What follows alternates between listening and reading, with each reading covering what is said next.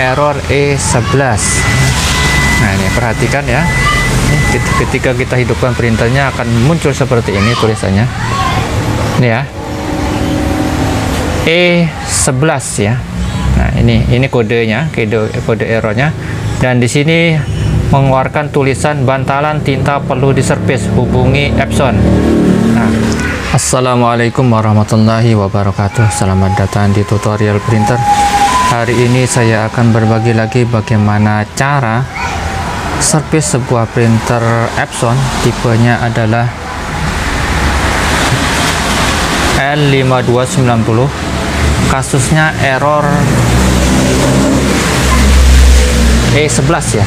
Kata usernya error E11 langsung saja kita tes ya Oh ya, mohon maaf ya karena di sini pinggir bagian jalan besar jadi suara-suara mobil itu sangat keras sekali jadi harap dimaklum. Langsung saja ya kita hidupkan dulu printernya. Apakah benar printernya itu error E11? Nah, ini perhatikan ya. Ketika kita hidupkan printernya akan muncul seperti ini tulisannya. Ini ya. E11 ya. Nah, ini ini kodenya, kode kode errornya dan di sini mengeluarkan tulisan bantalan tinta perlu diservis hubungi Epson. Nah kasus seperti ini ya. Biasanya printer itu minta di reset ya. Nah, langsung saja ya. Printer seperti ini biasanya minta reset nah ini saya sudah siapkan ya. Laptopnya ini sudah saya sambungkan sama USB ya ini reseternya.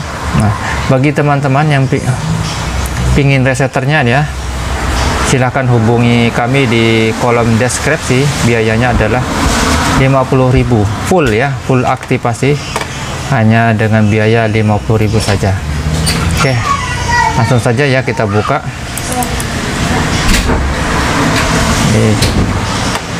Reseternya.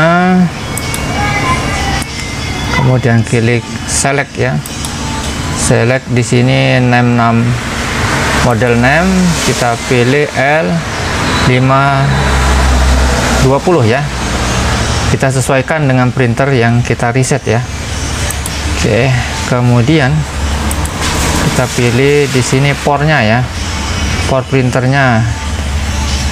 Kalau sudah dihubungkan dia akan muncul di sini ya. Nah, kalau sudah dihubungkan sama laptop akan muncul seperti ini ya Nah, kalau belum muncul di sini berarti belum connect sama printernya ya. Jadi sediakan dicolok-colok, pilih colokannya ya, colokan ini dipindah-pindah sampai dia mau connect di portnya ini ya. Nah, kalau sudah dia connect mesti akan muncul seperti ini ini L5290. Oke, langsung kita klik saja oke. Okay. Nah, di sini pilih partikular. Nah, di sini silakan pilih was the in bed counter kita klik dua kali. Nah di sini kita klik cek ya. Nah, maka akan seperti ini baru kita kasih checklist di sini tiga-tiganya. Mudah saja ya cara resetternya resetnya nah klik ini tialis ya. Kemudian muncul seperti ini klik OK saja please turn off the printer. Nah silakan matikan printernya katanya. Oke kita matikan printernya.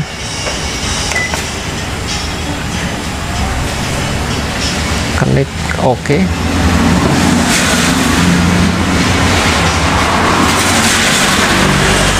oke. Printer sudah mati. Baru di sini kita klik OK ya. Nah kalau masih printernya hidup dia tidak akan bisa dikeluarkan dari aplikasi ini ya. Seperti itu. Klik finish kemudian preview klik quick. Baru kita buang semuanya aplikasi ini.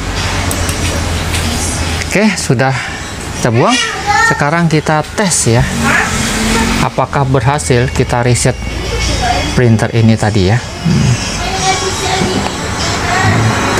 Ya bagi teman-teman yang ingin memiliki resetter ini silahkan hubungi kami di kolom deskripsi biayanya 50.000 nanti filenya akan kita kirim ke WhatsApp ya. WA kalian setelah kalian transfer ke rekening kami. Nah ini ya. Printer sudah normal ya. Sudah tidak ada error E11 lagi. Tidak ada tulisan bantalan lagi. Ya. Demikian ya semoga bermanfaat wabillahi taufiq wal hidayah. Assalamualaikum warahmatullahi wabarakatuh